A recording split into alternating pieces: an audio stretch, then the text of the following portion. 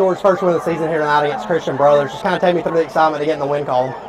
Yeah, we de- definitely can go to sleep early tonight. You know, no no more long nights thinking about losing. But uh, it was good to get Coach Coach Gill's first win. He deserves it. Take me through your performance. Um, Um, how do you think you played, and, and what stood out? Yeah, I thought I executed well. I thought I thought the line did a really good job of giving me give me a good amount of time to throw, and uh, receivers made plays as well. You're able to do this in front of Coach Heupel tonight. Um, what did it mean for him to be out here and, and watch, you know, this first game that he can be out on the road? I think it means a lot. I know they have they have early. I think it's 11 a.m. game tomorrow. So for him to be here the night before, you know, it means a lot to me. Obviously, he can't talk to you out here. You Yeah. guys can talk on the phone. What's conversation continue to be like, and, and how are they prioritizing you?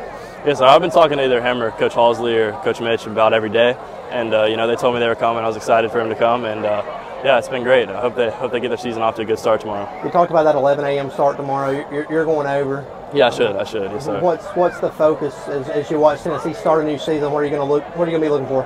Uh, to see how they transition from quarterback to quarterback. I, I know it's Coach Heupel's system, but it's still a new man at the helm. So As, as this season unfolds for you, what do you have planned visit wise?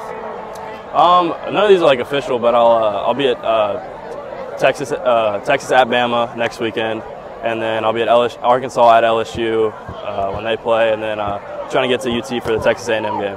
You you took a core group of visits this spring and summer. Yep. Um, limited kind of number there as you're working through your high school season here. What are you focusing on this fall?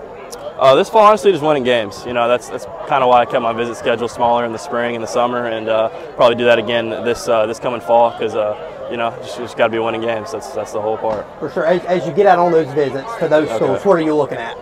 Um, I think a lot of schools I'm looking at kind of uh, they're transferring from quarterback to quarterback or maybe coordinator to coordinator. So uh, just kind of see how they transition out of it and if they can still keep their trajectory of their program going upwards.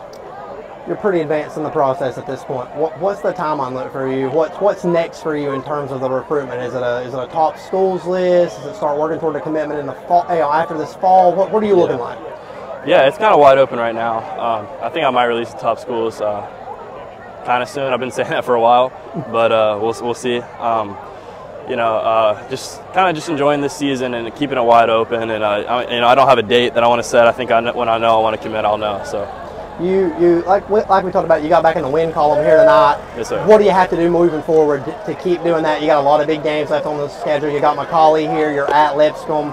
Uh, both are huge games, every game you're going to play from here on out is pretty big. So Oh, what's yeah. important to this football team moving forward? yeah, we know there's no weeks off for sure. Even after the first two games, like those aren't necessarily games that we circle on our schedule and say, hey, we got to win these. So obviously taking no games off because we, we're about to start playing the big boys. So You heard it here from 2025 four-star quarterback and the top player in the state of Tennessee in the On3 rankings, George MacIntyre. George, thanks. yes, sir. Appreciate you. Appreciate you.